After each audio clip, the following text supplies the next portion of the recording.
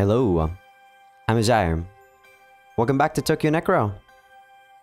Um, this is actually two days after I finished recording the last episode. Yesterday I wasn't able to record because uh, a pipeline in my house needed to be reworked on and it was actually inside of my room so I couldn't do anything inside of my room for the past, uh, well, I guess a day, really. It was working after that, but uh, I couldn't really record when they were working at it uh, because it was really noisy. Um, I'm not sure if I will be recording two episodes or not uh, today to try to, you know, compensate for what happened yesterday. I do not really want to record like multiple episodes at once because like I said, I think the quality of my commentary and also my narration is a bit lacking if I record multiple episodes. But I guess it depends uh, on how it looks like, right? As uh, I play through the game right now. But yeah, short recap. Last time we killed Mitsumi as Ethica. Iria got kidnapped. Ethica is also kidnapped. Ethica's spirit is broken. Iria seems to be under reconstruction as a living dead by Pavlov. As we infer anyway, we didn't necessarily see the scene itself, but we heard screams and such as Ethica. Soen, we saw Soen, um, what do you call it, torturing Olga. And yeah, he's losing his cool after that. And now we're trying to storm the place where Ethica and Iria are currently at, which is... Uh, I forgot the name, but it's like some sort of battleship, right? The Hawaii, I think? But I think that's a good enough recap. Let's actually continue.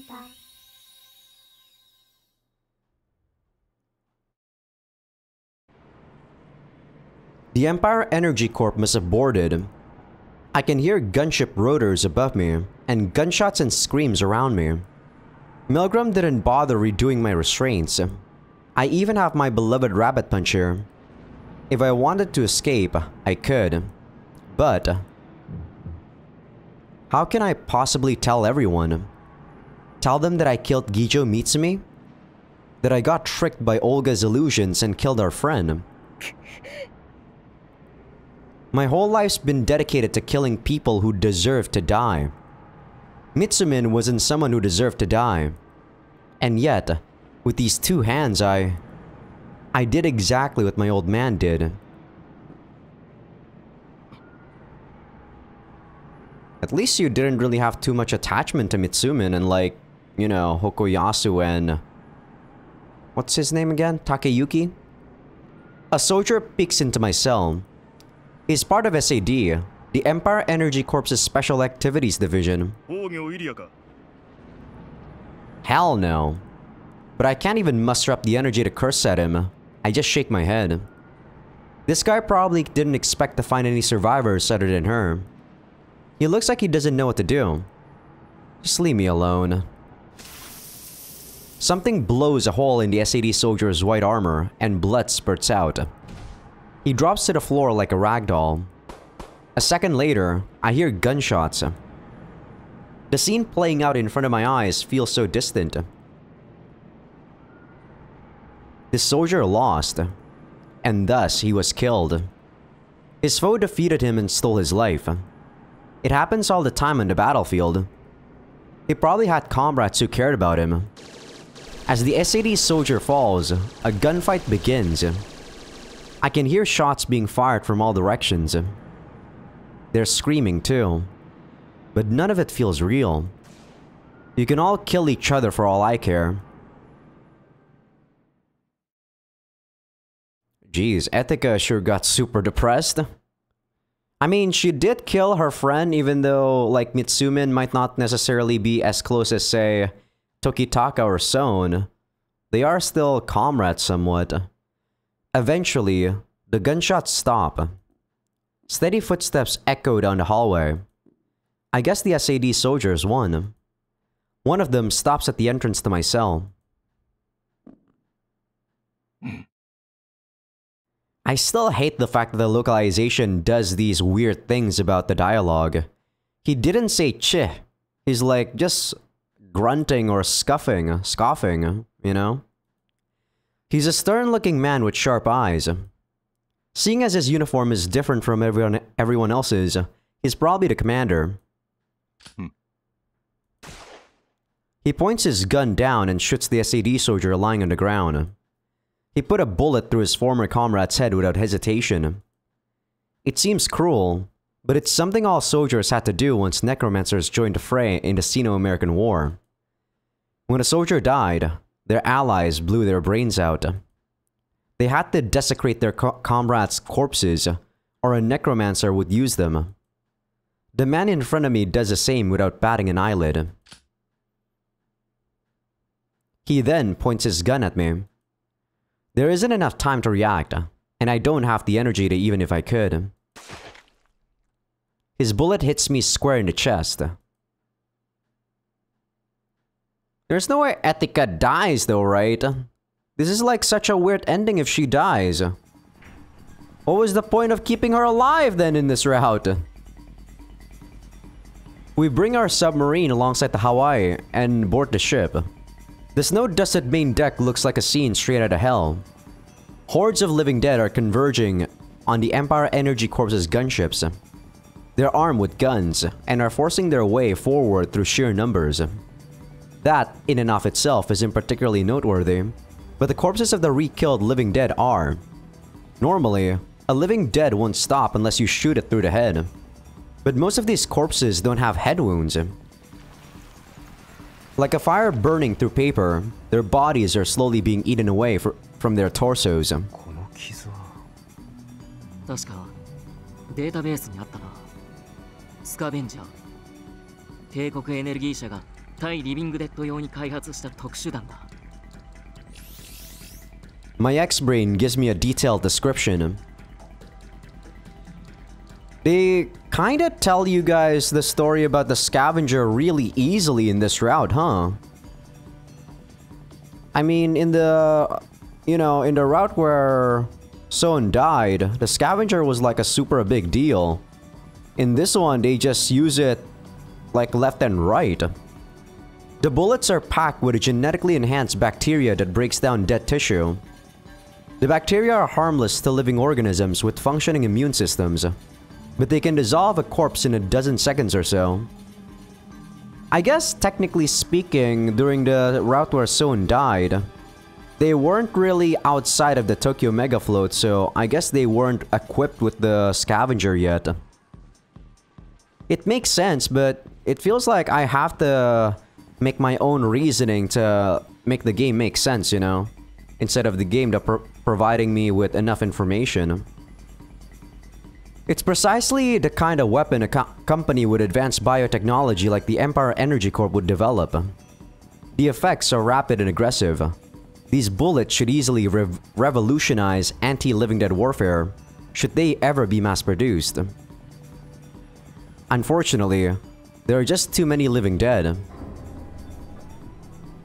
No matter how many of them the SAD soldiers kill, more keep spilling out of the elevator. While the scavengers are certainly effective, there's a limit to how many bullets you can carry. This is something I know well, as a professional Living Dead stalker. Indeed, the soldiers protecting the gunships are currently being overwhelmed by the Living Dead's sheer numbers. Sadly, we don't have bullets to spare on these guys. We sprint across the deck and enter the ship's belly. The ship's interior is quite cold. Tokyo may be a city full of death, but it would still be hard to gather this many corpses without some kind of system in place. According to Khonsu's analysis, the amphibious assault ship Hawaii was being used by the human trafficker Olga for some time. I suspect Milgram and his cronies were hiding the corpses they collected aboard the ship in preparation for this fight. The reason the ship is kept at such a low temperature is to pre prevent the corpses from rotting. It's possible the corpses of people who died in the experiments being conducted at the fortress were transferred directly to the ship.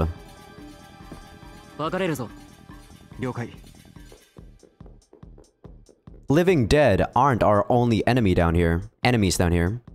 If the Empire Energy Corp really is after Iria, then we'll have to beat them to her. We have to take advantage of the current chaos and rescue her as fast as possible. Which is why we're splitting up the search for her more efficiently. The two of us head off in opposite directions, following the plan we came up with before the, before the operation. I dash at full speed down the narrow, pipe-filled hallway.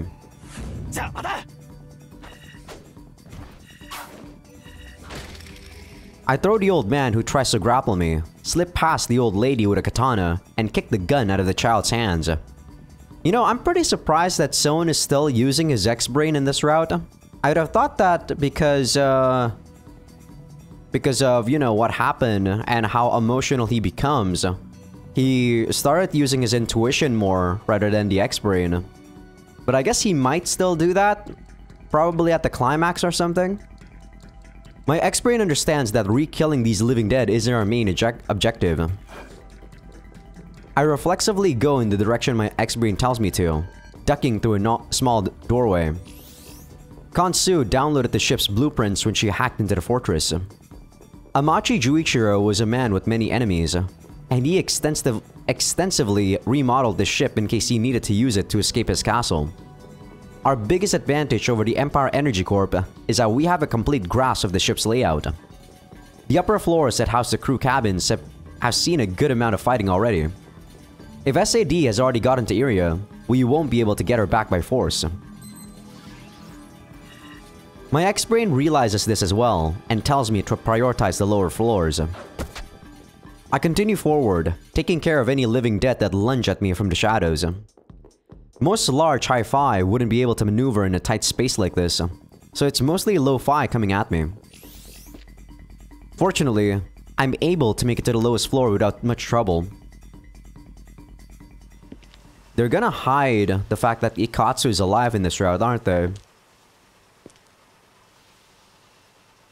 The engine's rumbling vibrates my helmet as I walk across the high ceiling room. This unusually warm room is the Hawaii's engine room. There's three stories of scaffolding surrounding the turbine engines, and a maze of pipes extends around it in all directions. Past this should be the ship's armory. My X-Brain believes there's a high possibility that Iria is being held here, held there. An alert flashes, and I immediately adjust my grip on my re-eliminators. My X-Brain then tells me to look. No, that... Nah, I think that's Pavlov. That's not Ikatsu. Up. Yeah, see, the string really makes him obvious.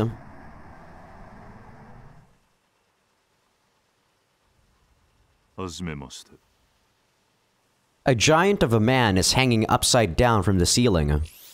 Mitsumi provided me his battle data a while back. パブロフだなええそうですそういうあなたは長岡総雲竹行の息子ですね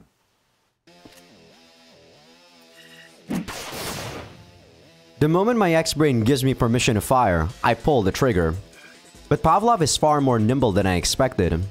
I try to keep him in my real eliminator sights, but... He's too fast. I take an unbelievably heavy blow and get sent flying through the air.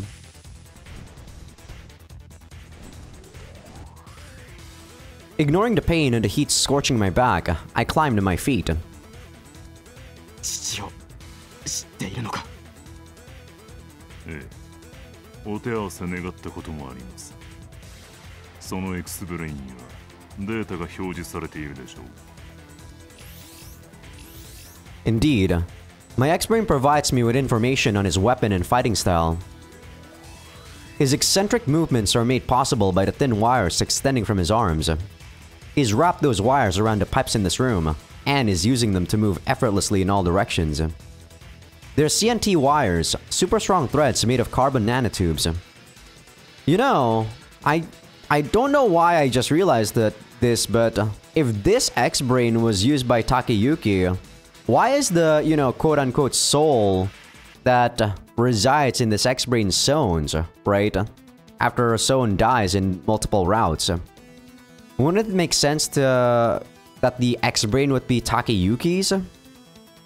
Sure, Soen was the one who used it after Takeyuki's dead. Huh. I don't know, may maybe maybe Takeyuki just didn't use it for that long. And Soen used it much longer, I don't know. I think I might be thinking too much about this. It might not matter in the long run. He shoots them out and reels them back in by using the superconducting motors in his gauntlets. What's more,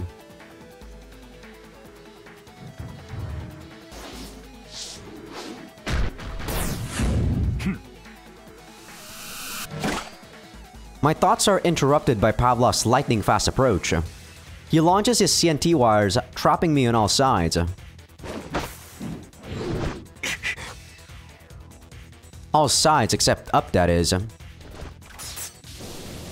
I holster my re-eliminators and leap up onto the catwalk in the nick of time. I mean, this might be a trap zone. Pavlov's wires graze my feet, and a second later, steam erupts from down from below me. His superheated wires must have sliced open a valve. He's heating them via remote joule heating, according to my X-Brain. It's familiar with his weapon. Familiar? The same way it was familiar with Tang Yunshan's electromagnetic blades. Oh, okay. Memories passed down from its previous owner. I take aim at Pavlov and pin him down with my re-eliminators. He nonchalantly blocks all the bullets with one arm, then shoots out another wire. Ignoring gravity, he launches his massive body into the air. He cuts through a number of pipes with his heated wires, causing high-pressure steam to shoot out from various angles.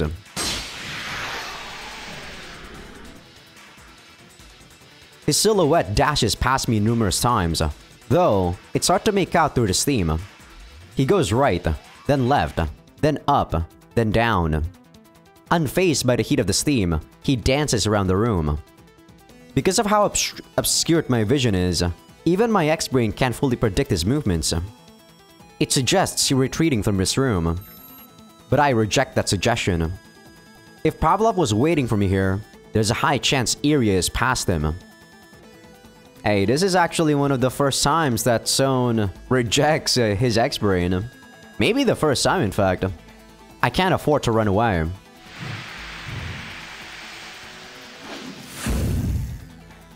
Found him. Years of following my X-Brain's X-Brain suggestions have honed my reaction time. However, Pavlov's still a fraction of a second faster than me. If we take each other out, it'll be my loss, since I won't be able to rescue Iria. I immediately jump backwards and go down a story. Pavlov uses his wires to forcibly change direction and runs vertically down one of the pipes on the wall. I can't escape.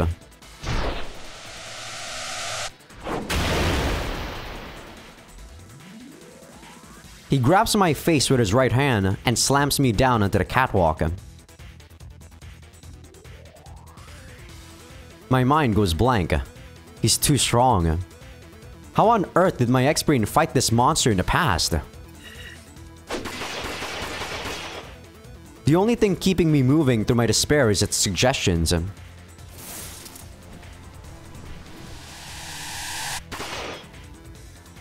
I follow its orders, desperately trying to claw my way to, to victory.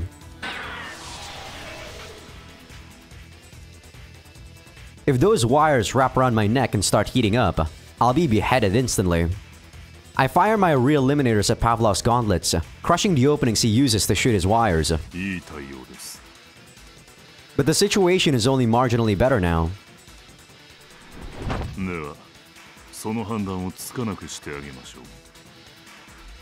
My breath catches in my throat as he presses down on me. Pavlov's cyborg body weighs more than 300 kilograms. I think for people in the US, it's about 660 pounds or something like that. Might be mistaken though. I believe a pound is like 2.2. or 1 kilogram is about 2.2 pounds, so I think that's right. 660 right? Meanwhile, I don't even weigh 70. Hey, same Soen. I mean, Soen is pretty tall, so the fact he doesn't weigh 70 kilograms means that he's really, you know, lean. Unable to resist, I can only watch as he grabs my arms. He steals my re-eliminators and tosses them away. Without my reliable partners, I feel powerless.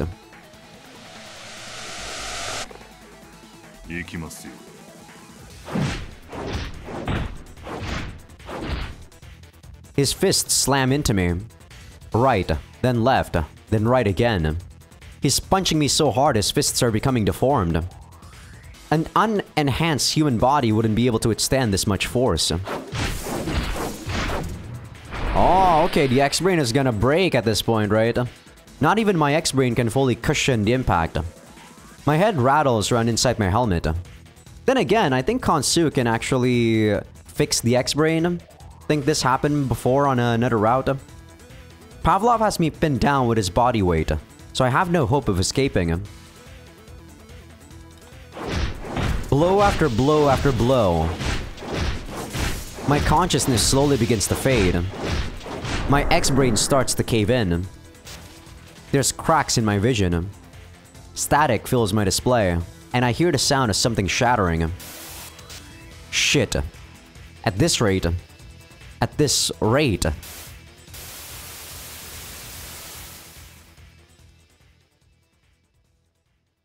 You're over-reliant on the X-Brain Soen.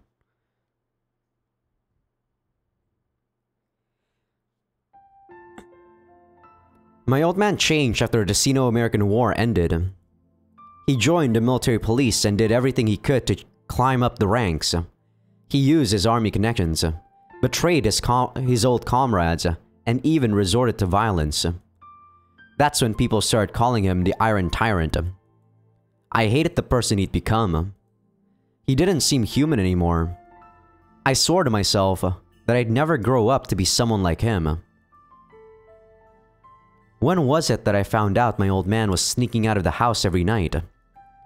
He'd slip past the mansion staff and make his way to the botanical garden. I thought for sure he was sneaking out to meet a lover or something.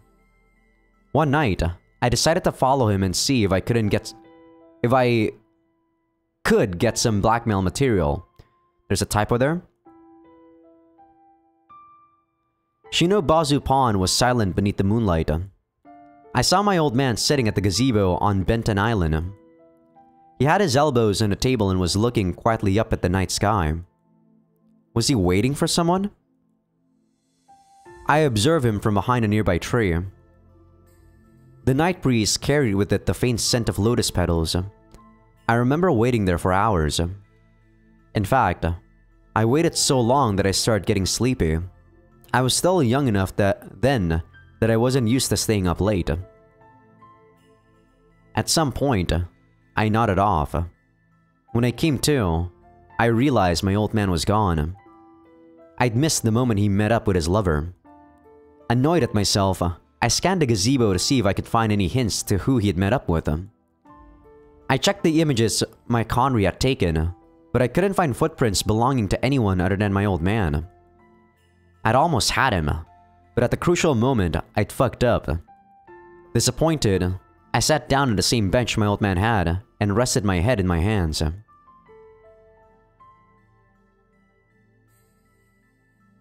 It was then that I noticed the table was wet. I looked back up at the sky, but in the botanical garden, it only rained at set intervals.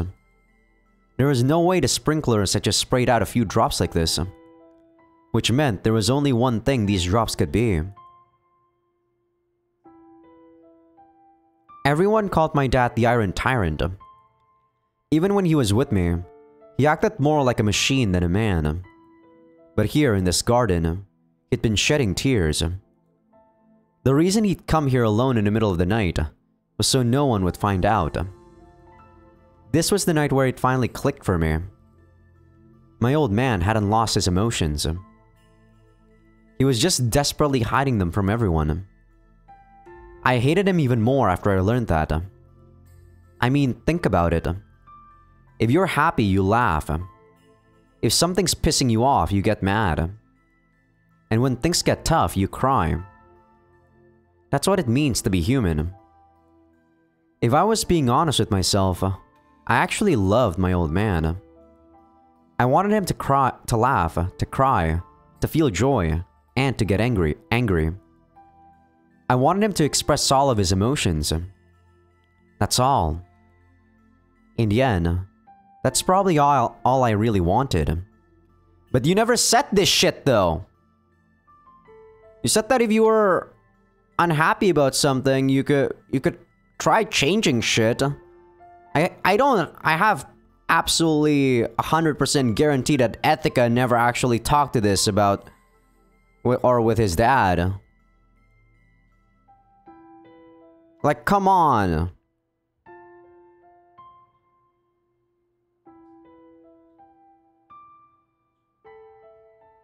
What a hypocrite. That's what Ethica is. Well, that was a weird dream.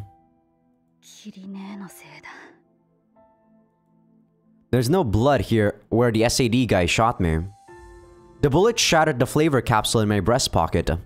Now it smells like lotus petals. That's probably why I dreamt about what happened at Shinobazu Pond. I looked down at the corpse of the SAD soldier still lying outside my cell. It's more than just his head that's been damaged. In fact, it looks like most of his corpse has been liquefied. He's turned into... Well, not exactly a puddle, more like a lump of dissolved flesh. The bullet that SAD commander fired into my chest was special. It didn't have much piercing power, but there was a certain liquid embedded inside it. That liquid is probably something that accelerates the decomposition of dead flesh. Meaning that guy shot me because he thought I was a living dead. Can't say I blame him. There's this huge commotion on the ship, and I was just leaning against the wall doing nothing. Fucking hell. This sucks. I don't even know if I can do this anymore. Maybe I can't. I want to run away. I want to cry. This is too much to bear. But... Every breath I take fills my lungs with the scent of lotus petals.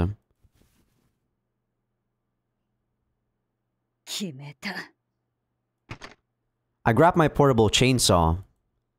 I'm not gonna run, and I'm not gonna hide. Not from joy, not from sadness, not from anger, and definitely not from my own sins. I'm gonna make it out of this alive. I'm gonna survive, and I'm gonna repent for what I did. And I'm gonna cry my heart out in Kiri's chest.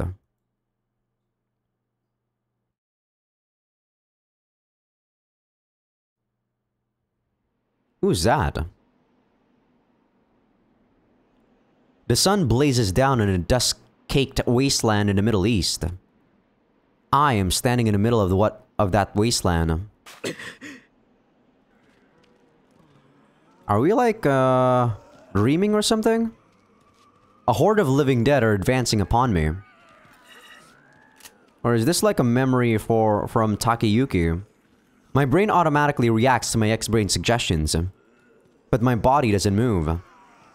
My legs are heavy, my arms feel like lead, and I can't keep my grip on my weapons. Lactic acid is built up in my muscles, dulling their movements. I don't have any bullets bullets left. I'm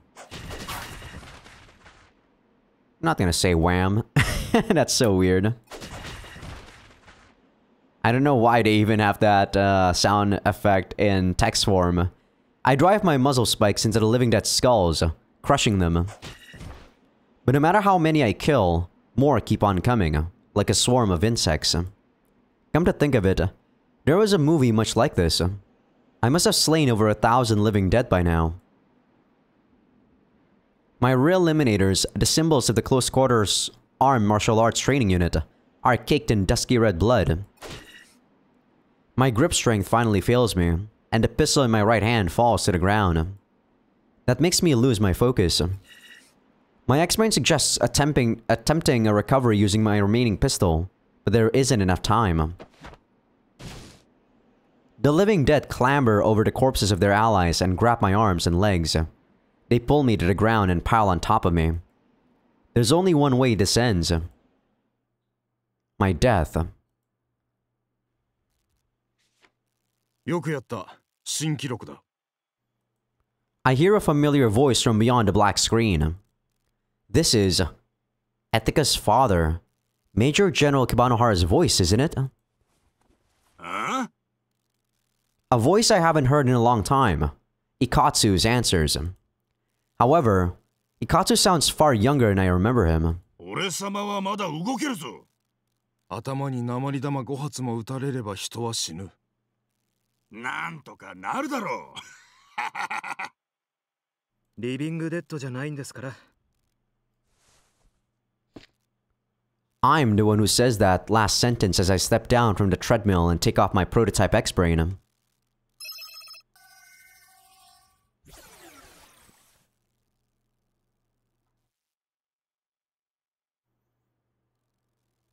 性能は？So that's how you look, huh, Takeyuki? 飛躍的に精度が上がってますね。これなら実用に耐えうる。ブス島研究室で優秀な研究者が見つかってな。麻生ゆかりくんでしたっけ？ずいぶん仲がいいみたいじゃないですか。やめてくれないか。私とゆかりくんはそういう関係では。ね お前は本当に共同体一筋だな隊長 Uh, there's a typo there. You need to add an extra A. そういうお前はどうだ Wait, is that Hokuyasu or is that Takeyuki? うーんそうさな I guess that's Takeyuki if this is from Takeyuki. Oh, this is Hokuyasu if this is from Takeyuki's perspective. 悪くはないがちょいと慣れるのに時間がかかる果たして今からどれだけ使えるかなるほど一般兵備は難しいかでもよやっぱり俺様はあんまり好かねえなこれこんなのがなくてもよ己の頭と経験で戦うのが真の戦士ってもんだろう Yeah, man. Usually people like uh, Ikatsu, um, you know, the people who just fight with their fists and stuff, die pretty early. He's pretty lucky his uh, build is pretty considerable. Major General Hokuyasu falls silent.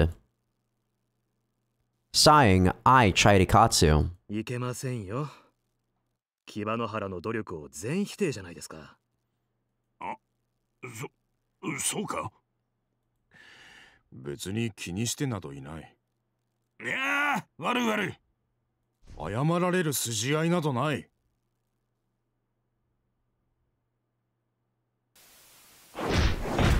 My consciousness gets pulled back to the present.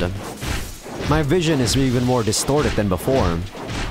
There's so much static on my monitor that I can't see Pavlov's fists.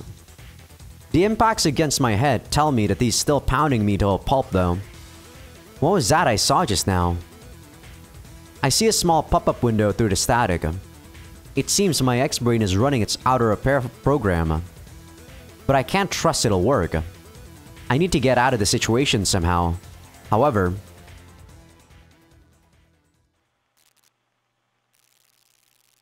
I'm looking intently at a picture.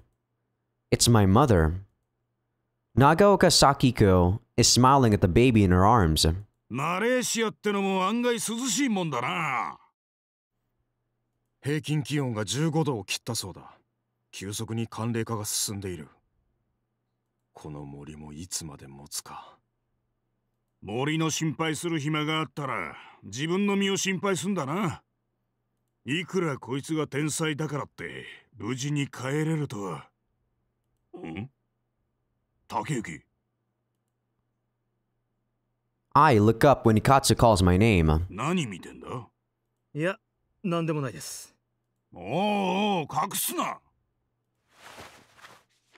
Ikatsu snatches the picture from my hands. He's as pushy and insensitive as always. へえうまそうじゃねえか食うな Major General Hokuyasu peers at the picture, then turns, turns back to me. 生まれたのか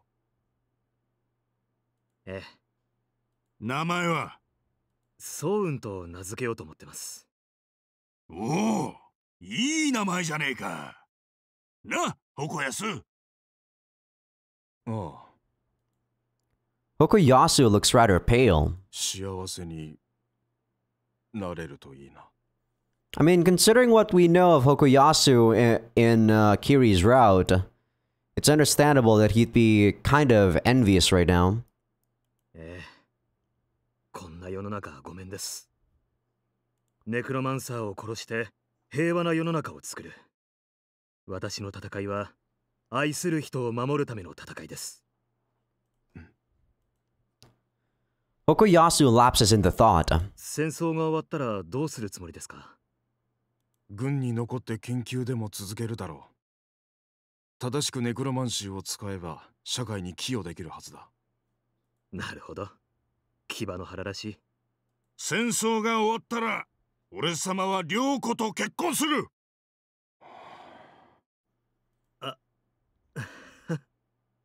んなんだお前らいや大丈夫だお前なら何を言っても結局死にはしないだろう、ん I guess that was a death flag, wasn't it?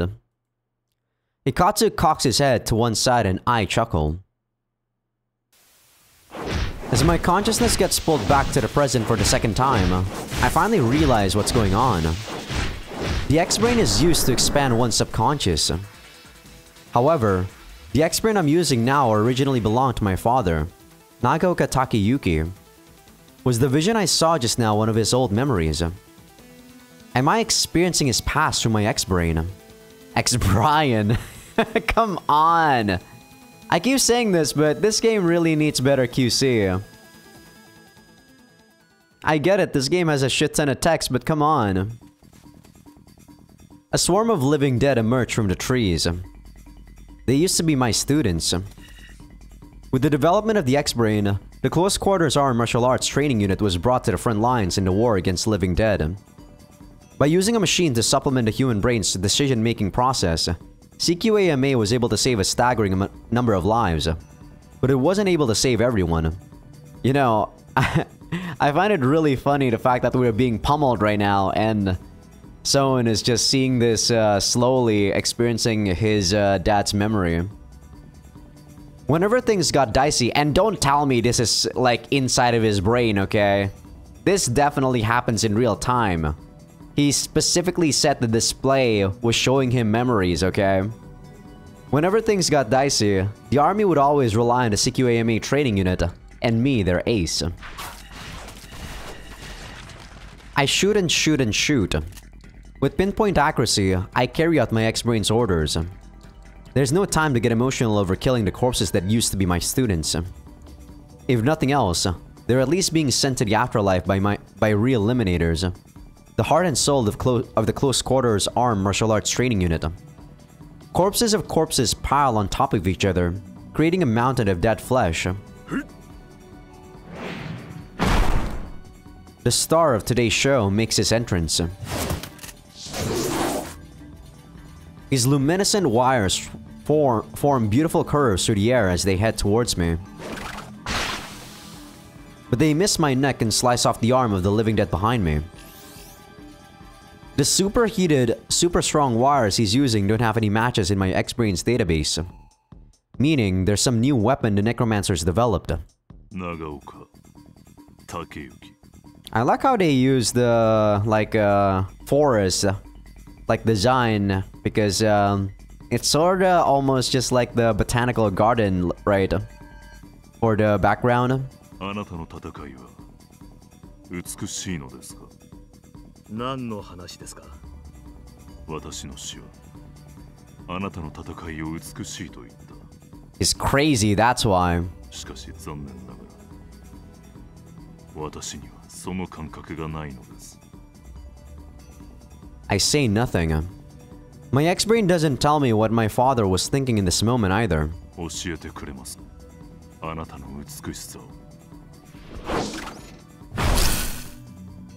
Pavlov raises his hand and shoots a wire into the air. It wraps around a tree branch and he activates the, the winch to lift them up. As he rises into the air, the remaining living dead rush me in unison. They don't have guns and seem to be trying to tackle me instead. I dodge the corpse coming at me from the front. A second later, its head goes flying as Pavlov's wire cut through it.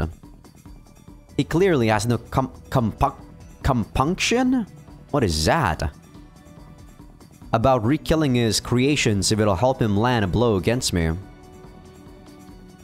Why can't you just say hesitation like a normal person? His plan is to cut me down along with his, with his living dead.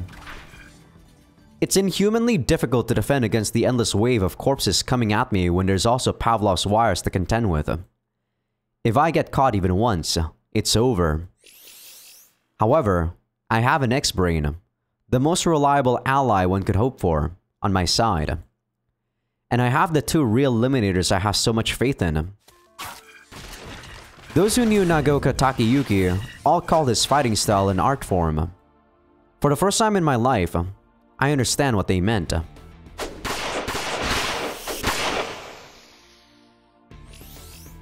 It takes my father only a minute. Just one minute to slaughter the veritable army of living dead. Pavlov doesn't hesitate. He launches wires out of both hands in a desperate attempt to claim my life. The foliage around me is cut to ribbons as the glowing threads dance across the night sky, leaving dazzling afterimages in their wake. The human eye cannot hope to process such complex movements. But the X-Brain can. It analyzes the wire's trajectories and calculates the optimal move out of the options at hand. It even manages to predict what Pavlov's going for. Man, such a cheat ability, or such a cheap cheat um, item, caught you.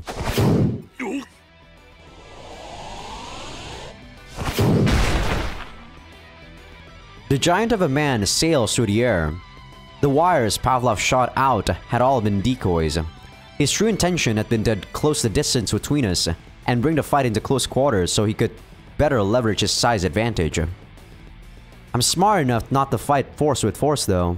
Instead, I use his own force against him. All I need is to grab his pinky, and I'm able to send him flying using the energy of his own charge. The battle has been decided. At this range, I can't miss. However, Pavlov doesn't beg for his life. He looks up at the twinkling stars and mutters,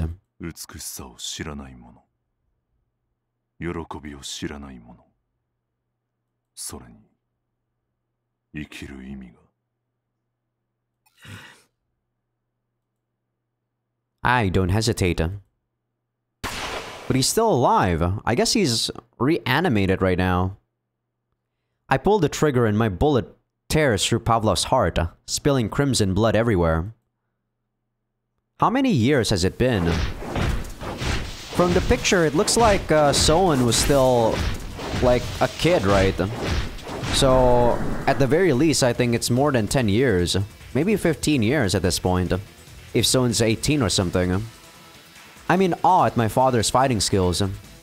Even though he had to deal with Pavlov's wires targeting him from behind, he was able to slaughter an absurd number of living dead in just one minute. Not only that, he wasn't even out of breath by the end of it. Nagaoka Takeyuki defeated Pavlov with such ease, it made the giant seem harmless.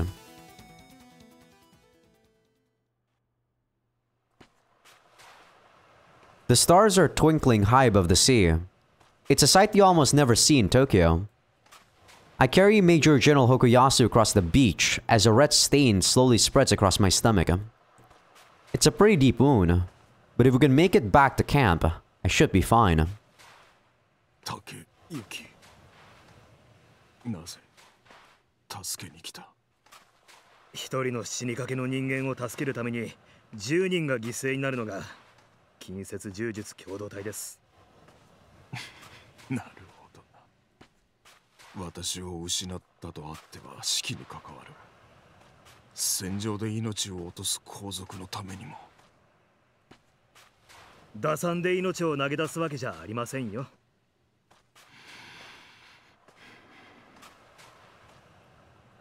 The only sounds that can be heard are the crash of waves against the beach and boots crunching in the sand. But that soon changes.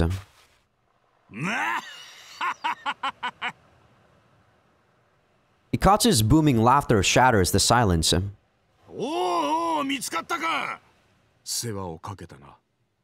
Man, I guess Ikatsu is somewhat similar to Rance, isn't he?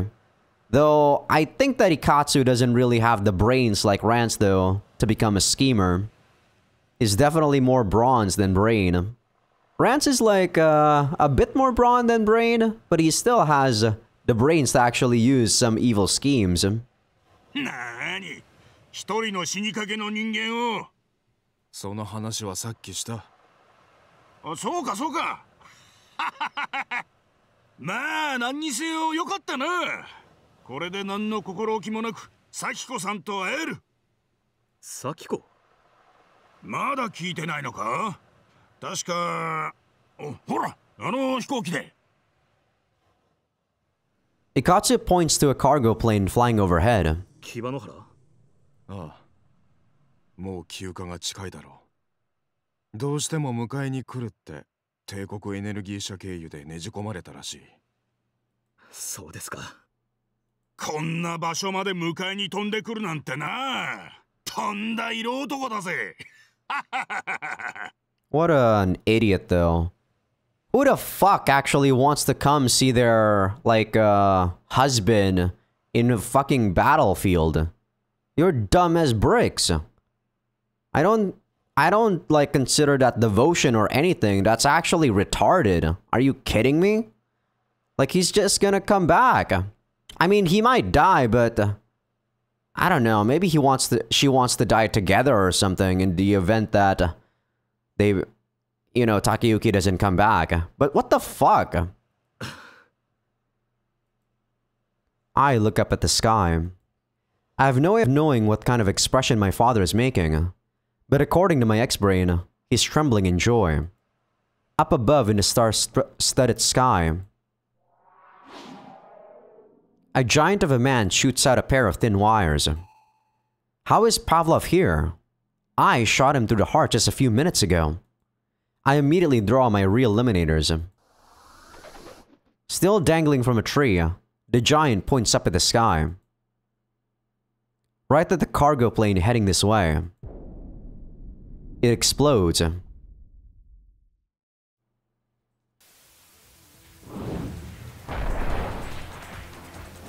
I'm confused though. How did Soen notice his parents like have sex?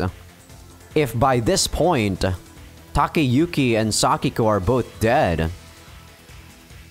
Like, did he notice that, like, when he was, like, one year old? And he still retains that, you know, that memory? I know some kids actually retain some form of memory, but... I don't- I doubt they actually have any form of self to realize, or to be able to distinguish what they're feeling at that point. There's no way that Soen actually thinks looking at sex and be like, disgusting. That doesn't make sense, especially at the age of one. I thought that his sense of disgust was seeing that Takeyuki was having sex with him, with, you know, his dead wife. That would make sense. But that would also mean that Soen would be a couple years older, not one year old. Now I'm kind of seeing some cracks in the story, but we'll have to progress and see what going what goes on. Was that? Could it be?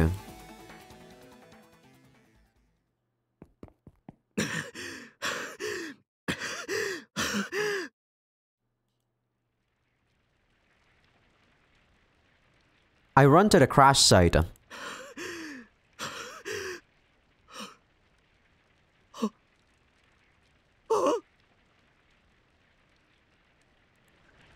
Amidst the burning wreckage,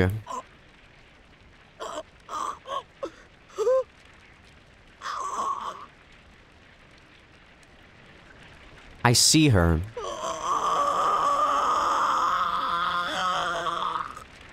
Man, your voice acting is not as good as Son, Takeyuki. My beloved wife.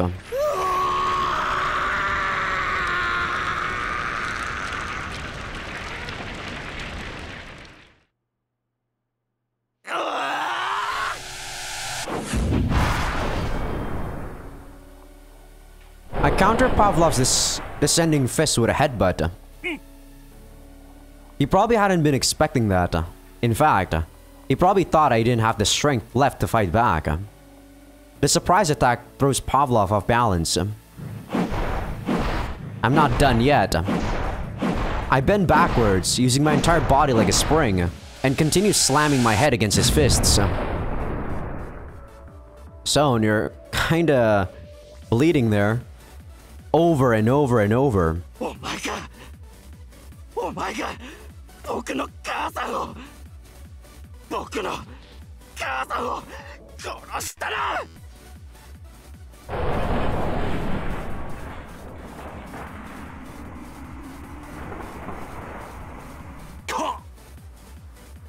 My barrage of headbutts eventually forces Pavlov back.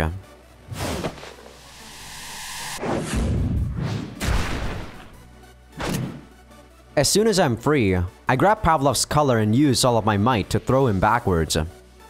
With his implants, Pavlov weighs around 300 kilograms. He slips over the railing and hits the ground with such force that the entire catwalk, catwalk shakes. I retrieve my re-eliminators and chase after him.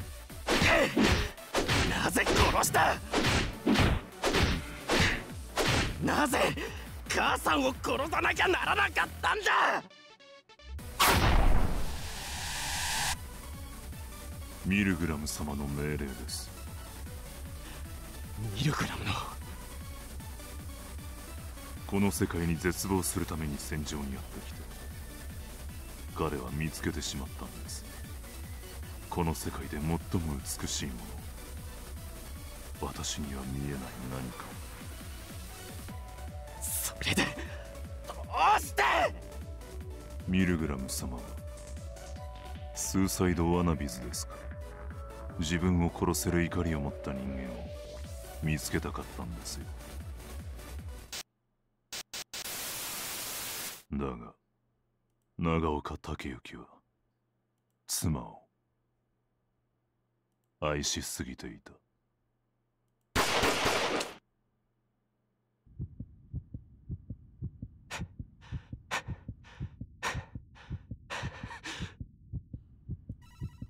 I get an alert warning me that I'm too worked up. It's fine. There's no problem. I defeated my foe. My injuries are minor. Pavlov turned his face away at the last second, but I still shot him through the head. Necromancers are wanted dead or alive. I mean, gotta remember what happened last time. He was still alive after your dad shot him through the head. There might be something, you know, with him that makes him not dead even after you shoot him. Besides, this man was already shot through the head, through the heart once. If that didn't kill him, it means he was a living dead and could only be neutralized by destroying his brain. I did the right thing. I know I did. I take a few deep breaths. It's hard to catch my breath in this steam-filled room though. Eventually, I managed to compose myself and get to my feet. My experience is still going through its error check, but I already know where I need to go. Past this door is a bulkhead, and past that should be the armory. I pull the door open.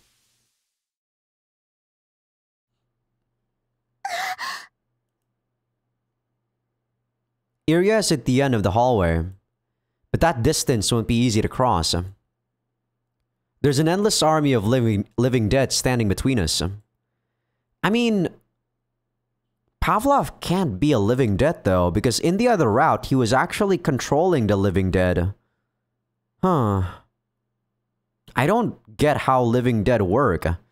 So, if a living dead was a necromancer before and they turn into a living dead, can they still command other living deads?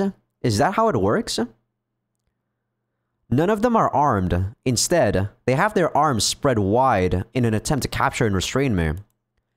Their actions are identical to what the living dead in the Malaysian jungle were doing when they tried to hold down Nag Takayuki long enough for Pavlov to slice him with his wires. I hear someone jump up behind me. Sighing heavily, I turn around. Yeah, see, there must be something going on with his body that makes him not die. Did he like remove his brain somewhere else on his part of on like part of his body or some shit? What is going on with this guy? The two holes I open in Pavlov's head are emitting pale blue sparks. The inside of his head is filled not by a brain, but mechanical sensors. He's also pried back open the holes on his gauntlets to make his CNT wires usable again. I have no idea how he's still moving. But that doesn't matter. What's important is that I've been pincered. If any of the living dead catch me, Pavlov will cut me apart from behind. In order to rescue Iria, I need to take care of him and make my way to the end of the hall. My X-Brain com completes its error check and resumes normal operation.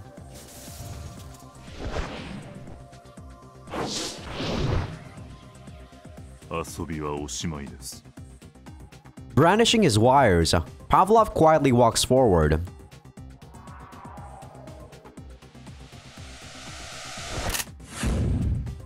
I ready my re-eliminators and prepare myself for the battle to come. It took my father only one minute. I should be able to do the same. See, here's the thing though. If my what my prediction is correct about Iria, whether someone survives this battle and defeats Pavlov, Iria has already been turned into a living dead. I take the gun off the corpse of the SAD soldier outside my cell. Everything about its design screams made by Empire Energy Corp. But it's got a full magazine of those corpse-eating bullets, so I can't complain.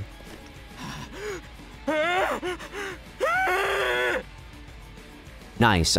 I've even got a test dummy right here.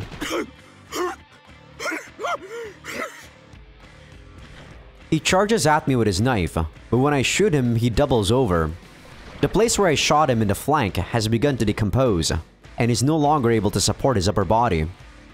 In less than 20 seconds, the living dead is nothing more than a lump of flesh. Yeah, this is more than enough for ghouls. If it works just as fast on high-fives too, then it'll be a handy weapon to have around. The bullets don't do much physical damage, but if I need pure destructive power, I've got my chainsaw. The hallway is filled with lumps of flesh, I'm guessing they used to be living dead. There's also a pretty decent number of SAD corpses. They've been re they've really been going at it, huh? Now then, what should I do? No way in hell I'm gonna ask these SAD fucks for help. Besides, uh, their top priority is completing their mission anyway. Plus, uh, there's a good chance they're not here for Milgram, but for Iria. I'd like to save Iria if I, if I can, uh, but this ship is huge. I have no idea where they took her. And a lot of times passed since SAD started their attack. These guys are tearing through the living dead. So for all I know, they've secured Iria already. In which case, the best course of action is... Um, Hell yeah! I'm a genius! Um, whatever, Ethica. Bang, bang, bang. I pumped the nearby living dead full of dissolving juice as I dashed down the hallway. The Empire Energy Corps' new, newest weapon really packs a punch. All of the living dead turn into puddles of flesh goop in seconds. Whatever's in these bullets is one hell of a cocktail. If the energy elite had shit like this, they should have told us sooner. Grumbling to myself, I make my way to the main deck. Who would be the best person to capture for a hostage exchange? The first person that comes to mind is that SAD commander fuck with the beady eyes. If I kidnap their leader, those SAD guys will probably be willing to trade him for Iria. And this way, I can get back at him for shooting me. I don't think so. I don't think so, Ethica. But while I really want to pay him back, there's no guarantee I can find him on this giant ship. Hell, he might have been killed and turned into a living dead. Hence why I'm heading up to the deck. The roar of the gunships has gotten a lot quieter, meaning they've probably landed on the ship. If I can steal their transportation, that's another good way of forcing them to negotiate. See? Now that's where you're talking. Probably. I think.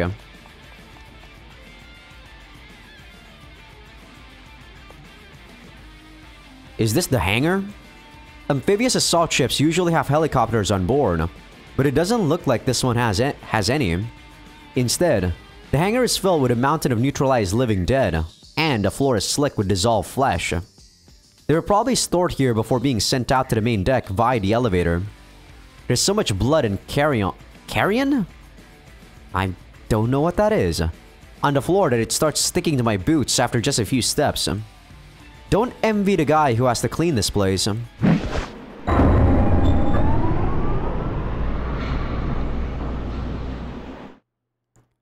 A pale beam of light shines into the room. The giant elevator slowly begins to descend. Standing amidst the falling snow is a giant black figure. It doesn't look quite human though. If anything, it looks more like a... Oh wow, we are fighting Ikatsu in this one.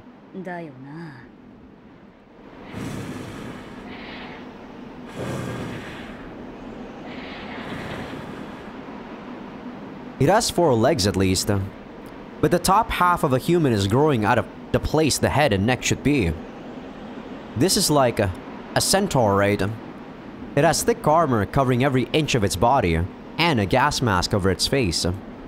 This definitely doesn't look like the kind of thing SAD would make. Seeing as it's on the ship, it's probably one of Laboratory's newfangled hi-fis.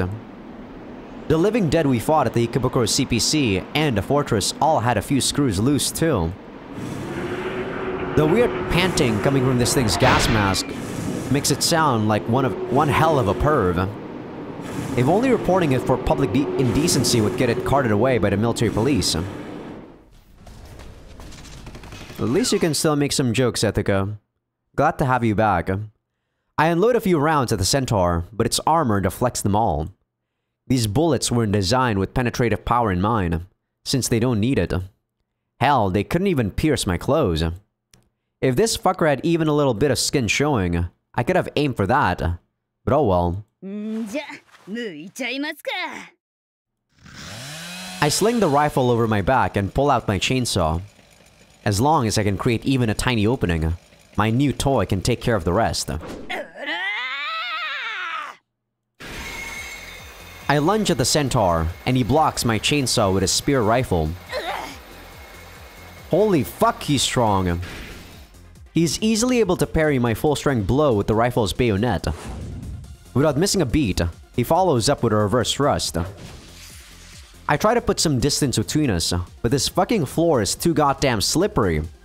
I drop a hand to the ground to stab stabilize myself as I slip and slide away. This guy is pretty tough. Gonna have to use my head a little. The moment I raise my head, I sense someone right behind me. He blocked my escape route. The centaur's four legs give him explosive bursts of speed and keep his grip on the floor steady. Even with all the blood and guts everywhere, he has no problem out- outmaneuvering me.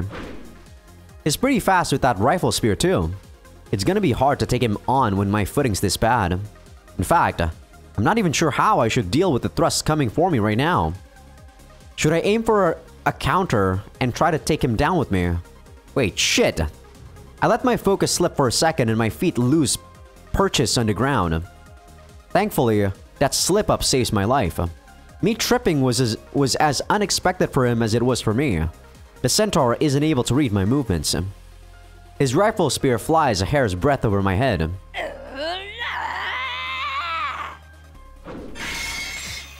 I twist my body to the side and swing my chainsaw up.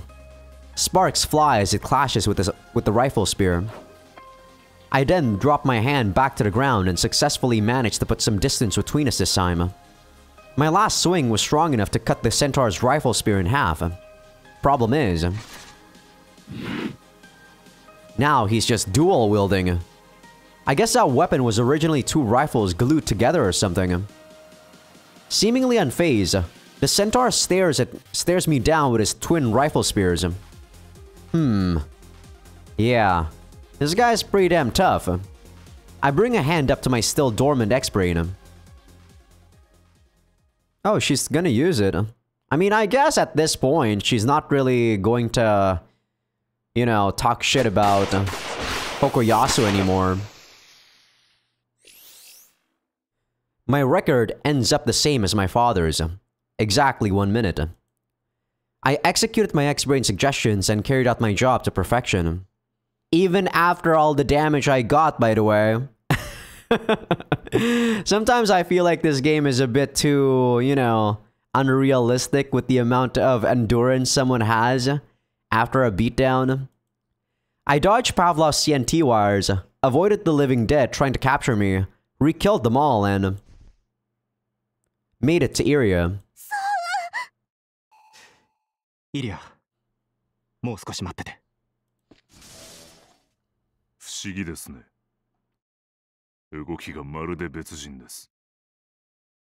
I turn around to see Pavlov staring at me with the remaining chunk of his head. I start up my MPP. Pavlov brandishes his wires, and they begin to glow.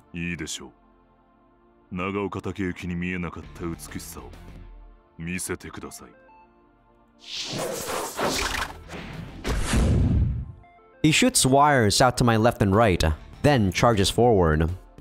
I've already seen this tactic once before. The memories my X-Brain showed me, the battles my father fought, have been etched into my brain. My X-Brain should easily be able to calculate the movement patterns of Pavlov's CNT wires. I expect a suggestion will appear soon. But I start moving before the suggestion appears. Turning to the side, I evade the first wire. A few seconds later, the suggestions confirmed that the actions I took on instinct were indeed correct. I then leap up and fire my pistols at Pavlov's left gauntlet. Again, my X-Brain affirms my course of action. The X-Brain's purpose is to expand its user's subconscious.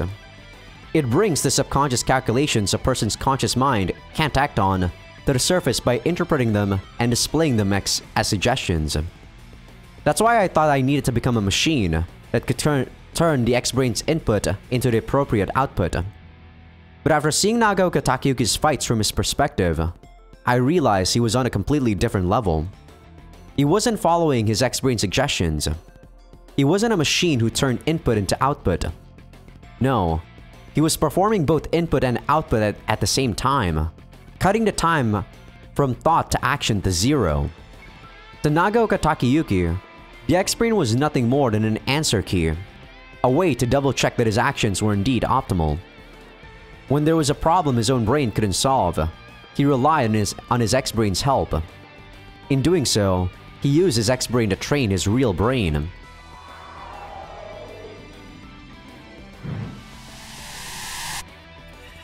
I take a half step backwards and throw out a feint. My X-Brain affirms my course of action. My physical brain is finally catching up to my X-Brain.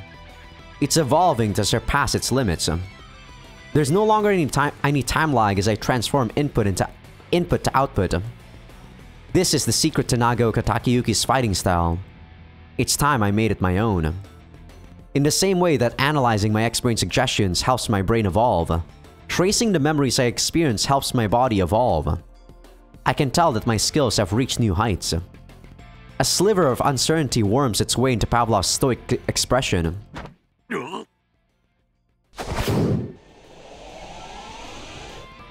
I grab him by the pinky and throw him. My X-Brain affirms my course of action. I don't fight force with force. Instead, I use my opponent's force against them. Pavlov rushed forward to bring things into close quarters, but the force behind that rush backfired.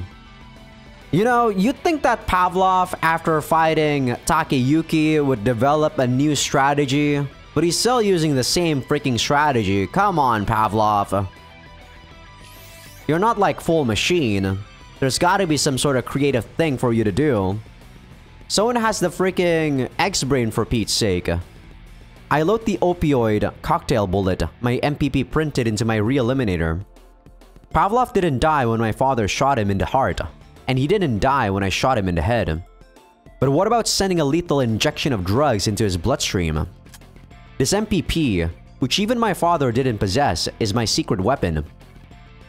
You know, this also poses the question of how about how this guy dies so easily, killed by like Mitsumi's brother. right? Like Mitsumi's brother thrust him and then cut him in half, but you'd think that he would still survive after all that. Like, what the fuck? This guy's a monster. How did he die so easily in that route? Now this fight is really over. Pavlov slowly looks up at me.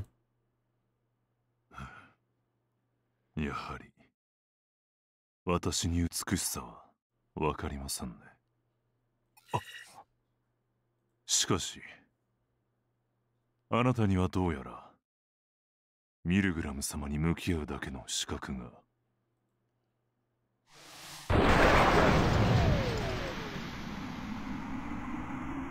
Doesn't seem he was shot by someone there.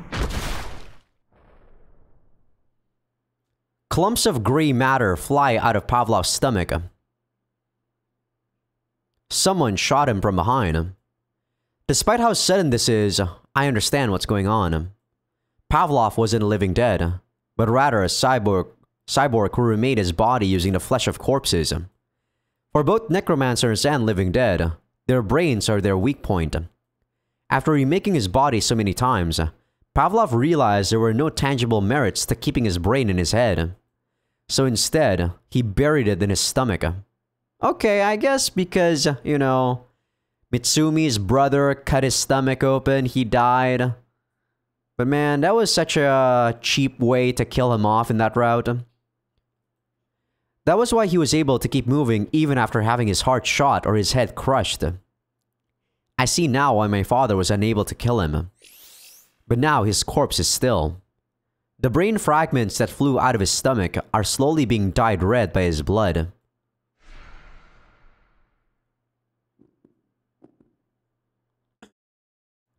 An SAD unit clad in their distinctive white uniform uniforms run runs in from the back. They make way for their commander, who steps forward.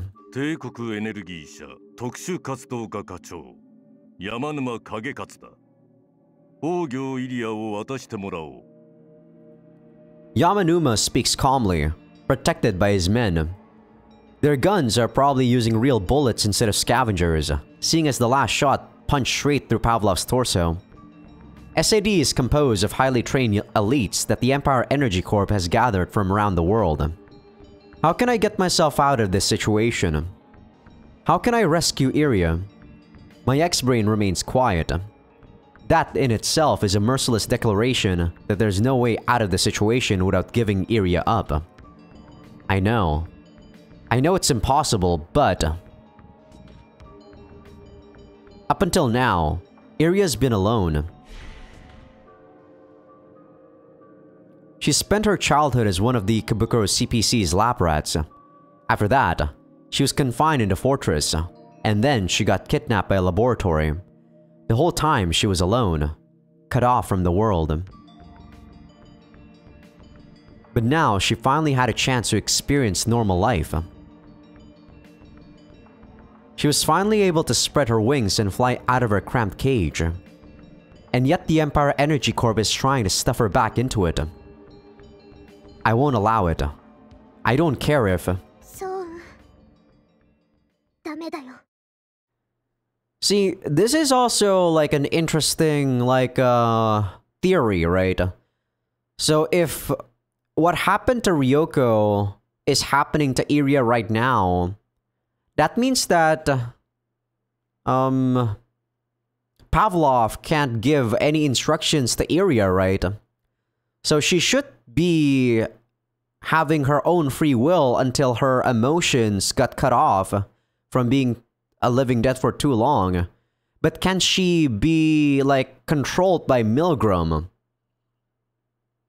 I don't know. Or has she always been like Milgram's puppet after what Pavlov did to her.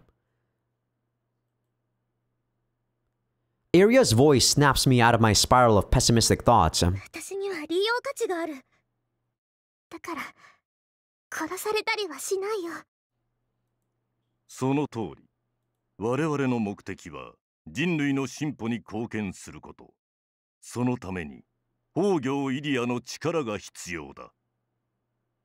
そんなの信じられ Iria leaps into my arms. She's trembling, but I can sense her determination.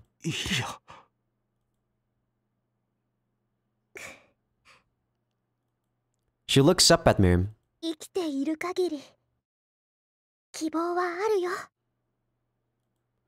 Her smile is wide.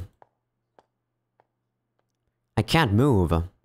All I can do is stand here and watch.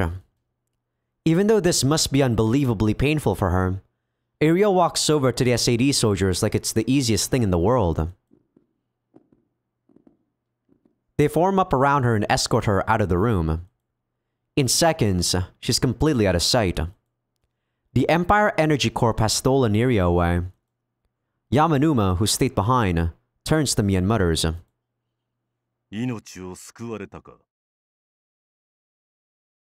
Yeah, I know. The Empire Energy Corp doesn't care one whit about the lives of Tokyo's residents. Had I fought, those SAD soldiers would have killed me without hesitation. 残念だったな I hear the sound of a pin being removed, and Yamanuma throws a grenade my way. It's not a standard grenade either. It's a scattershot grenade that propels itself upwards with compressed air. It'll explode in midair and launch shrapnel in all directions, which is far more dangerous than a regular explosive. I won't be able to run away in time.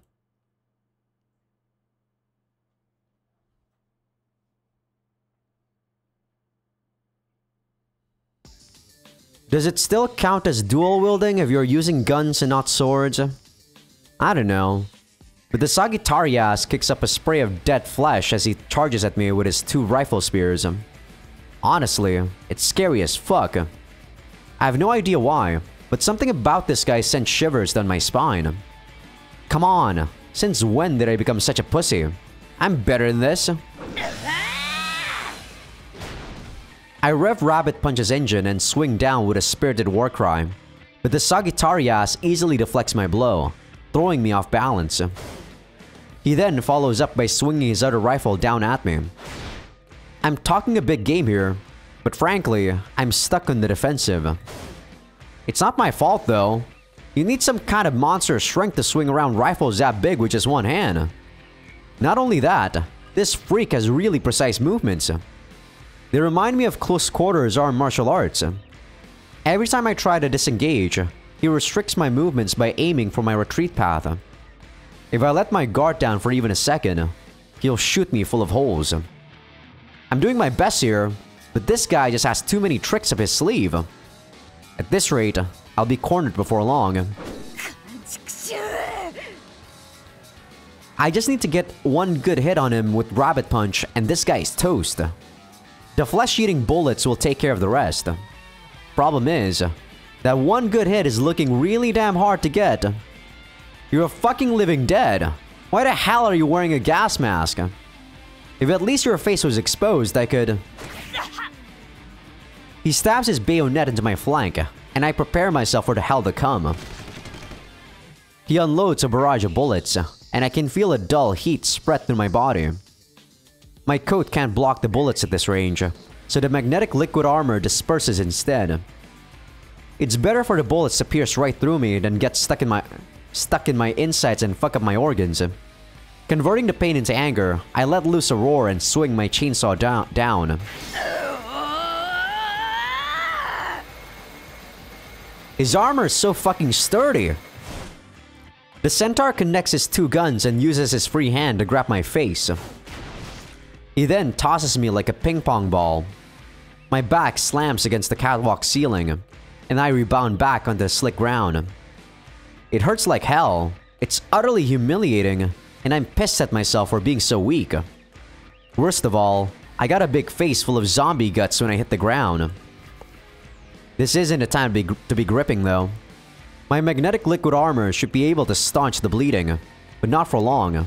If I don't get treated soon, I'm in trouble. I can already feel my extremity is going numb. I'll only be able to fight at full power for a few more minutes. I managed to make the smallest of scratches on the centaur's right gauntlet.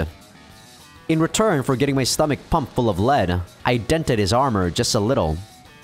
I'm not sure if I damaged it enough for my rifle to pierce through, but as things, things stand, I don't have any other. When I reach around behind me, I realize the rifle is no longer strapped to my back. Scanning the area, I see it's fallen in the center of the room, halfway between me and my centaur friend. It probably got dislodged when the fucker threw me. Okay, what to do? Can I reach the rifle before the Sagittarius does, and then get a good shot on him before he cuts me in half? Can I really do all that? Let's be real here. Probably not. Thinking about it logically, there's no way it's happening. Good thing I don't operate on logic. I've gotta make it back alive to Kiri. I promised I wouldn't leave her behind. Besides, uh, I already decided I'm gonna make it back and repent. Hey, old man. What would you do in this situation? Seriously? You think that's gonna work?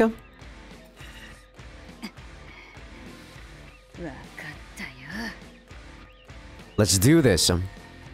I hate my old man. That hasn't changed. But I remembered how he was crying alone that one night at Shinobazu Pond. If that was the real him, then I might be willing to change my mind just a teensy bit. Which is why I'll trust the X-Brain he made, just this once. My life's in your hands. 行 I don't head directly for the rifle. Instead, I stick close to the wall. The Sagittarius takes the bait, changing course for the wall as well. Perfect. I smack the switch on the wall and the elevator starts to rise. I'm not after the flesh-eating rifle. My goal is the gunship on the main deck. The elevator creaks and groans as it rises at a snail's pace. Hurry up, you broken piece of shit!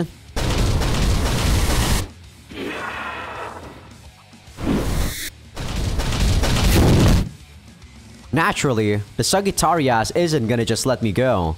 He leaps towards the platform. I dodge his charge and escape to the main deck. What?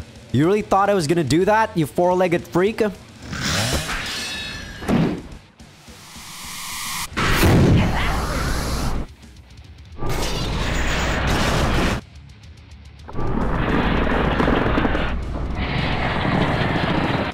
What did you do with your arm? It feels like I've been hit by a bulldozer. I nearly black out, but I stick my chainsaw into the floor and hang on through sheer, sheer willpower.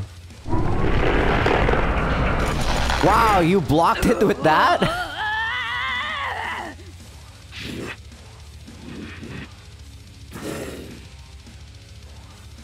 If I can just withstand the force of his initial charge, his extra legs can't help him for shit. Yeah, look, his back legs are flailing helplessly through the air, and he can no longer push me. Okay, he's still pushing me back. God damn, this guy's strength is insane. Inch by inch, he starts slowly overwhelming me.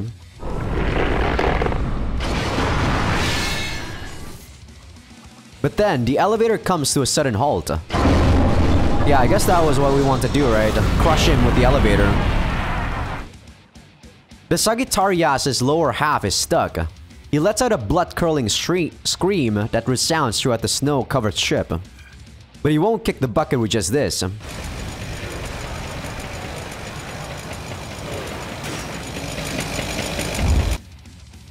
I turn back to the main deck.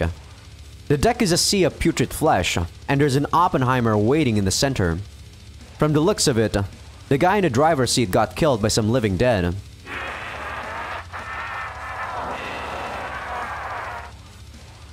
Alrighty then. I guess this is a fitting way to finish off that Sagittarius. I sprint across the deck and jump into the gunship, taking a gun from one of the SAD soldiers' corpses along the way. Yeah, there's bound to be a lot of guns here on the main deck. There's no living humans inside. Seeing as there's a puddle of flesh at my feet, there's probably a battle up here too. Those flesh-dissolving bullets won't be any help in a cramped space like this. They take too long to work. Always gotta make sure you've got the right weapon for the job. I make sure there's no enemies nearby, then head into the cockpit.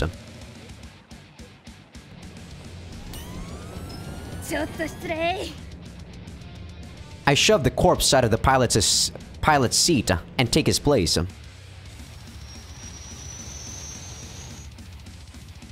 I've practiced piloting gunships a thousand times in simulators. I can do this with my eyes closed. The Oppenheimer kicks up a powerful gale as I bring into the as I bring it into the sky. I'm suppo- I, suppo- I think there's supposed to be an it there. Blowing away the nearby chunks of flesh, stray limbs, and SAD corpses. If I wanted to, I could escape right now, but there's no way I'm running when there's such a delicious meal set out right in front of me.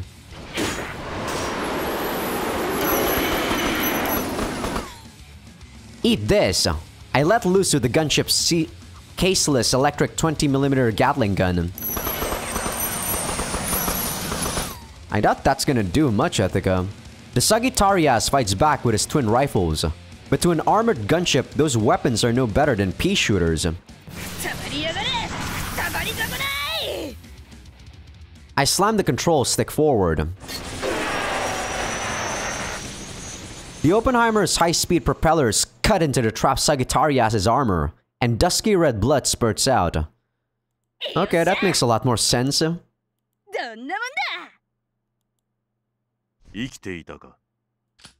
Before I can turn around, I feel a gun press against the back of my head.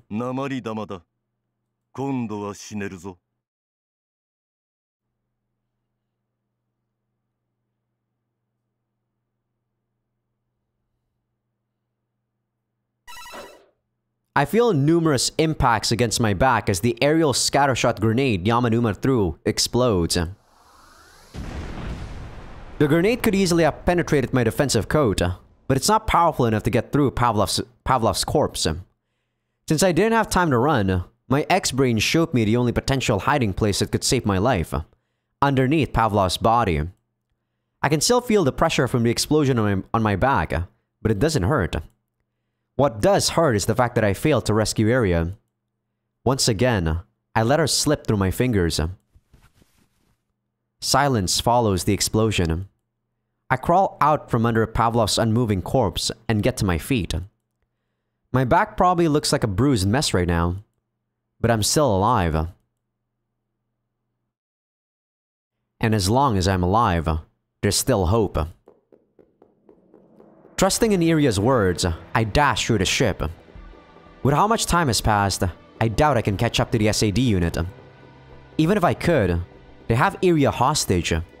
I can't think of a single way to get Iria back. But I can't help but keep running away. Running anywhere. He's dead? No way! Are you gotta be joking? Tokitaka can't die? What the? Just before I reach the main deck, I find Tokitaka leaning against the wall in a puddle of his own blood. There's a massive hole in his stomach, and his thighs have been shredded. His reinforced bodysuit isn't able to staunch all the blood. I grab his left hand and check his vitals via his Conray.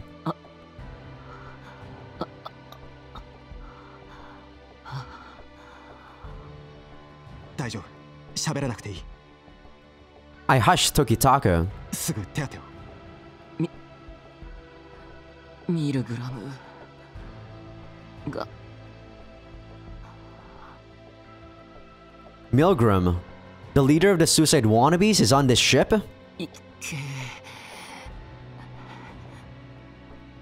Tokitaka points to the hatch. I can hear the sound of gunship propellers growing louder from outside. I do as Tokitaka says and run outside. The gunship's rotors whip up a flurry of smoke and snow on the deck. I spot a familiar figure in the distance, their hair blowing in the cold sea breeze.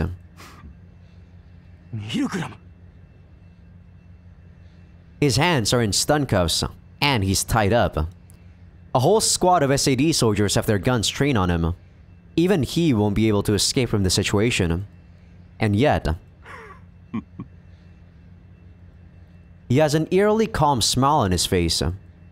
Prod prodded along by the soldiers, Milgram gets into the gunship he doesn't appear to be resisting at all. I watch on, dumbfounded. It's hard to believe that Milgram, of all people, was captured so easily. Yeah, I think that area can be controlled at will by Milgram right now.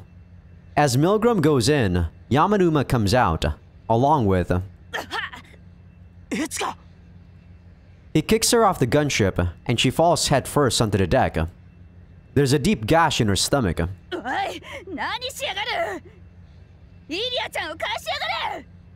Hmm. Yamanuma ignores her and goes back inside the gunship. How are we gonna get back though? Or I guess we still have the Cetus. Its twin propellers start spinning faster, and it lifts off the ground.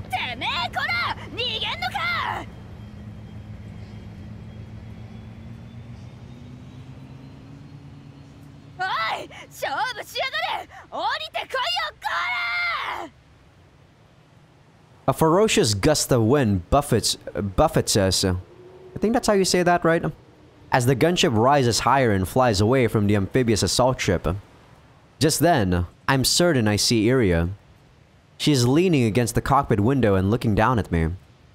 I can't hear her, but I know she's telling me that, there, that there's still hope. I nod in reply.